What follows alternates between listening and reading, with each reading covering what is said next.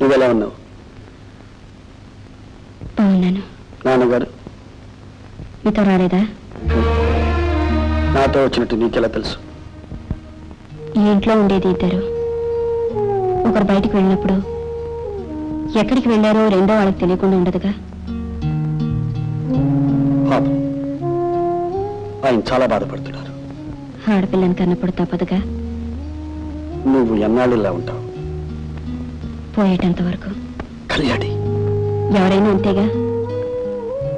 ఒంటరిగా ఉంటే అంతే. ఉన్నది ఒంటరిగానేగా? నీకు ఈ ఒంటరితనం పోవాలి. అంటే పెళ్ళి చేసుకోవాలా? ఏ? చేసుకోవా? ఎందుకు అలా నవ్వుతావు? అందరు అడిగినట్టే మీరు అడిగారు. ప్రేమంటే అర్థం. ఇలా మిగిలిపోవడమేనా? నాకు తెలిసిన అర్థం అదే. అంటే అర్థం నాకు తెలియనట్టేగా. నువ్వు ఉండగా నేను పెళ్ళి చేసుకున్నాను అంటే ప్రేమకు అర్థం నాకు తెలియనట్టేగా. నేను స్వార్థపరుడన్న మాటేగా. కాదండి. కాకపోతే నువ్వు అన్న మాటకు అర్థం ఏంటి నన్ను ఒప్పించింది ఎవరు నా పెళ్ళి జరిపించింది ఎవరు? అంటే నీకున్నంత ప్రేమ నాకు లేనట్టేగా. కాదండి. నేను ఆ ఉద్దేశంతో అనలేదు. చూడు నువ్వే అన్నావు. పెళ్ళిళ్ళు చేసుకున్న వాళ్ళందరూ ప్రేమించుకున్న వాళ్ళు కారు. ప్రేమించుకున్న వాళ్ళందరూ పెళ్ళిళ్ళు చేసుకోలేరు అని. ఇన్ని తెలిసిన దానివి. అర్థాన్ని నాకు విడమర్చి చెప్పిన దానివి. ఆ అర్థం నీకు మాత్రం వర్తించుతా. నీకొక న్యాయము నాకొక న్యాయమునా? కళ్యాణి ప్రేమించడానికి మనసు కావాలి. కానీ పెళ్ళి చేసుకోవడానికి మనసు లేకపోయినా పర్వాలేదు. అంటే మనసు లేకుండా పెళ్ళి చేసుకుని నాటకం ఆడమంటారా? మరి నాటకం ఆడమని నా పెళ్ళి జరిపించావా?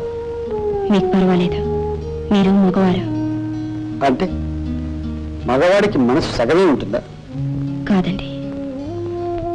మగవాడు ఇల్లు విడిచి బయటికి వెళ్ళిన దగ్గర నుంచి తిరిగి ఇంట్లో అడుగు పెట్టే వరకు ఆ ఇష్టం లేని తనాన్ని మర్చిపోగలడు.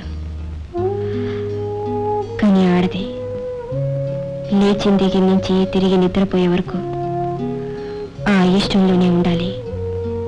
ఆ ఇష్టంతోనే బ్రతకాలి. నువ్వు ఇలాగే విడిపోదలుచుకుంటే దానికి బాధ్యుని నేనే అవుతాను. నేను ఆమెను పెళ్ళి చేసుకోవడం మూలంగా నీ జీవితం ఇలా నాశనం అయిపోతుంది. ఆమెకు విడాకులు ఇవ్వడానికి కూడా నేను వెనకాడను? అవును కళ్యాణ్. త్యాగం అనేది ఏ ఒక్కరి సొత్తు కాదు.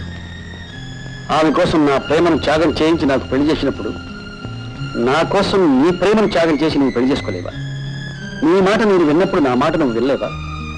నా మాట గౌరవించిన నీ ప్రేమ ప్రేమినా? చెప్పు. చెప్పు కళ్యాణి. చెప్పు. మాట్లాడవే.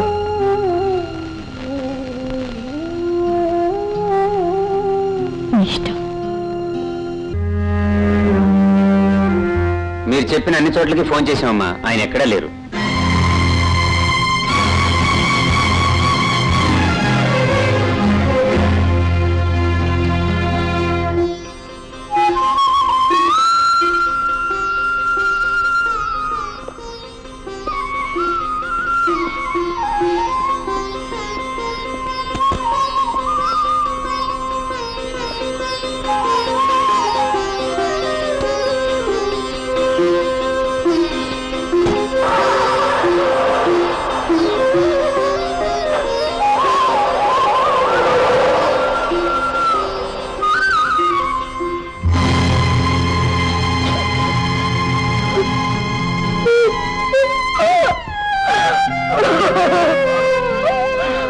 గౌరీ గౌరీ ఏడవ గౌరీ ఏడవకి.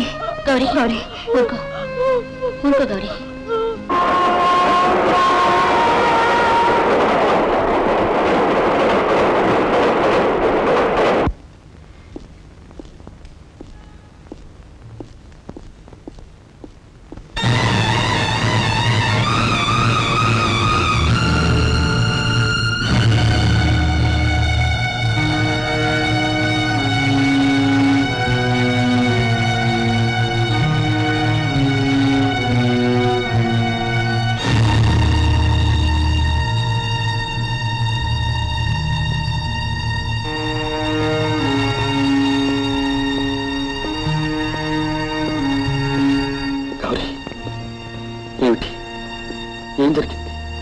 అసలేం జరిగింది?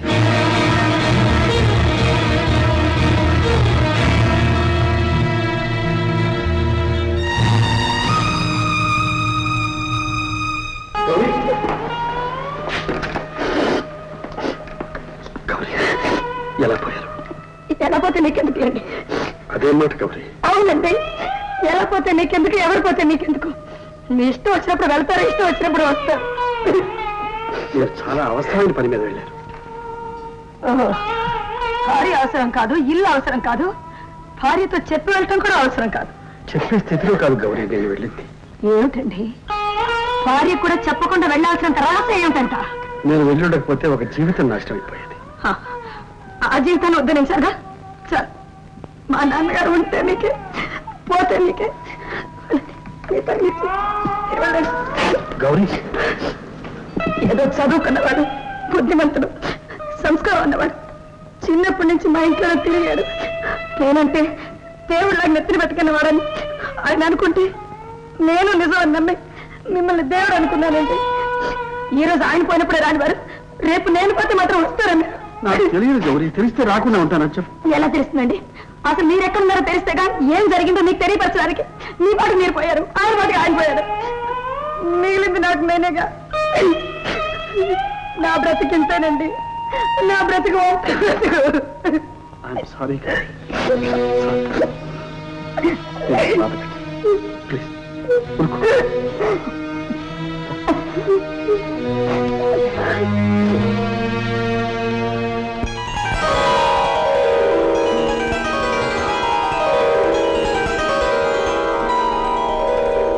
గౌరీ ఏటే? ఉత్తరం పత్రం లేకుండా వచ్చేసావు ఏం చేయమంటావు? పొజిషన్ బాగాలేదు. ఏ? ఏమైంది?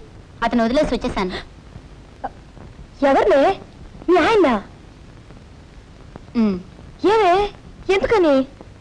ఏం లేదు. నేను ఊరికే సినిమాకి వెళ్తున్నానంట ఆయన ఇంటికే రానప్పుడు నేను సినిమాకి వెళ్తే తప్పేమిటి? మొన్న మా ఊరు అమితాబ్ బచ్చన్ షూటింగ్కి వచ్చాడు. ఆ రోజంతా అక్కడే ఉండిపోయాను. రాత్రప్పుడు కూడా షూటింగ్ చేశారు. అవునా? రాత్రంతా అక్కడే ఉండిపోయాను. మళ్ళీ తెల్లవారుజాములు కూడా షూటింగ్ చేశారు. తెల్లవారులు అక్కడే ఉండిపోయాను. అతను రూమ్కి వెళ్ళి సంతకం పెట్టించుకొచ్చాను. అది తప్పంట. తిట్టారు. పోని వచ్చేసాను. అదేంటది? ఊరికెళ్ళి సంబరం పెట్టుకొస్తే తప్ప? చి ఒకడు అందరూ అంతేనబ్బా. మంచి పని చేశావు. నాకు బోరు పడుతుంది ఇక్కడే ఉండిపోవే. ఏమండి? రజని అని నాతో పాటు చదువుకుంది. వాళ్ళ ఆయనతో గొడవ పెట్టుకుని వచ్చేసిందండి. మొగుడు మంచోడు కాదండి. అందుకే ఇక్కడే ఉండిపోమన్నాను. మా ఆయన నేను చెప్పానుగా వాళ్ళ నాన్న తీసుకెళ్ళి వడ్రంగ మందులో పెడితే మా నాన్న తీసుకొచ్చి చదివి అది. రూపాయలతో పోగు చేసుకుని చదువుకున్నారే. ఎంత కష్టపడి పైకి వచ్చారో రా స్నానం చదువుగాని రా. స్నానం తర్వాత ముందు టిఫిన్ పెట్టవే. చి, తిండిపోతువే నువ్వు. రా రా మా తల్లి నా సంతానం. రా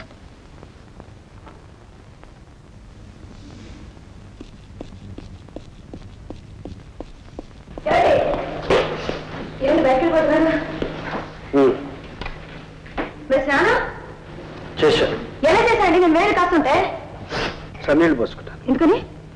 ఆఫీస్కి టైం అయిపోతుంది.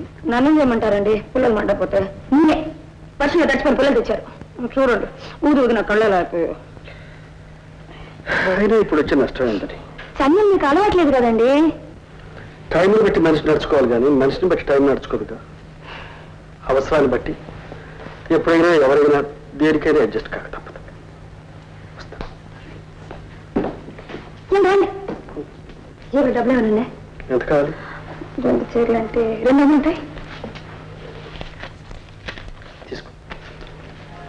ఎందుకని అడగరే అవసరం ఉండే అడుగుంటావు మళ్ళీ అడగడం ఎందుకు? అయ్యో నాకు కాదండి. నా ఫ్రెండ్ వచ్చింది కదండి.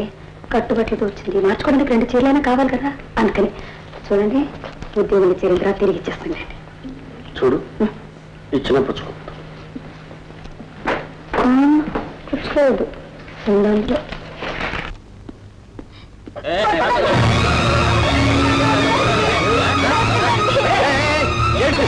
వందలు ఏం జరిగింది ఎందుక ఇక్కడ కొడతారు ఎందుకు పండు దొంగిలించాడండి దొంగతనం ఏం ఆకలైందండి మరి ఉంది అమ్మ అన్నం పెట్టలేదు